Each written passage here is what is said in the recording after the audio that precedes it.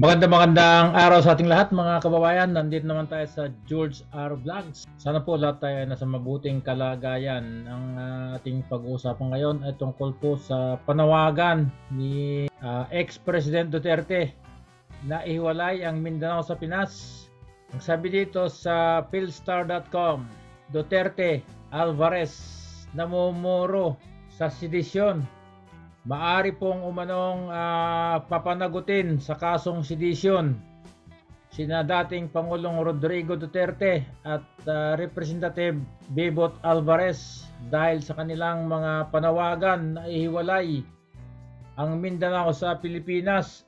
Ayon kina Kamigin, Governor Javier Jesus Romualdo at ama na, na si Representative Chardin Jesus Romualdo ang panukala at mga pahayag ni na Duterte at Alvarez ay malinaw na sedisyon at labag sa 1987 Constitution. Binigyan din ng mga ama na ang saligang batas ay tuwirang nagtatanggol sa pambansang soberenya at teritorial na integridad ng Pilipinas na nagbabawal ng anumang anyo ng paghihiwalay o paghati Idinagdag pa nila na ang Camiguin, isang isla, probinsya sa Northern Mindanao ay uh, mariing tututol sa plano ni Duterte natin ang bansa para sa kanyang sariling interest. Yan po ang uh, panawagan ng mga Romualdos. Ang sabi pa nila, I served three terms in Congress.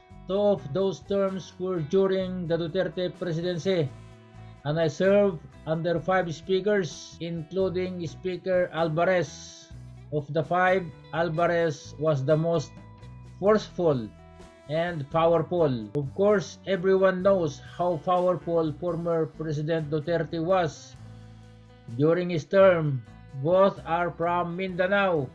They should thus answer for their complaints about the state of Mindanao. If things are as bad as they say, Why is it that way? When you ruled the country for six years, what were you doing when you were at the helm? Yan po ang panawagan or sinabi ni Governor Romualdo.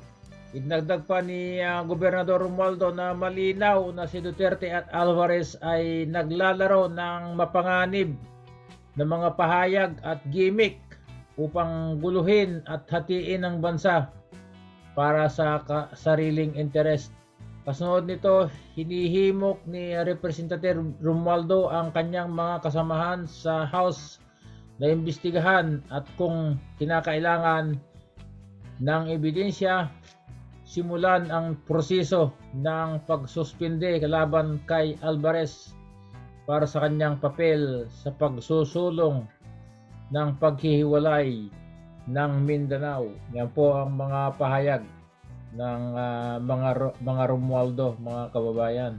Oo nga naman, dapat hindi nila sinasabi yung mga gusto nila dahil pansariling interest lang po ang kanilang gusto mangyari na iwalay ang Mindanao sa bansang Pilipinas. Isa pang uh, mainit na balita mga kababayan, hacker ng government websites mula sa China sabi po ng DICT, napigilan ng Department of Information and Communications and Technology ang tangkang pag-hack sa ilang website ng pamahalaan. Kabilang dito ang website ng Overseas Workers Welfare Administration or UWA. Ayon kay DICT Undersecretary for Cybersecurity Jeff Ian D napigilan nila ang pagbagsak ng website ng UWA at natunton ng IP address ng attackers na nagmula sa China Unicorn.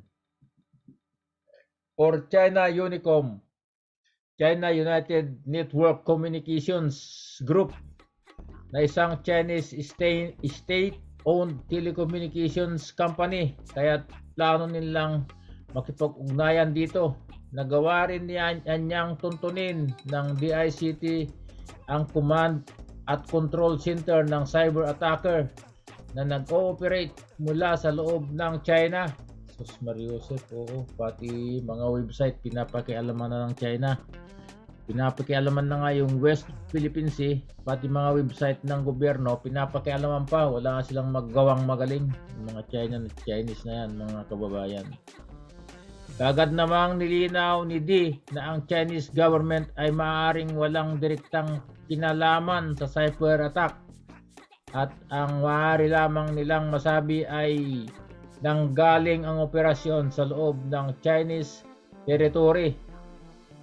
Posible umanong tiniktikan ng grupo ang email address at website ng ilang ahensya ng gobyerno matapos kunin ang informasyon ng mga administrator, administrator nito. Target umano ang mga, mga hacker ang mayroong government.ph na domain kabilang sa mga posibleng natiktikan ng email address ng Philippine Coast Guard, DICT, DICT DOJ at website ni Pangulong Ferdinand Marcos Jr. Sinabi ng DICT na posibleng tatlong grupo ang umatake kabilang ang Lonely Island, Manor at Panda na pinaniwala ang mga advanced threat group na nag-operate ng teritoryo sa China.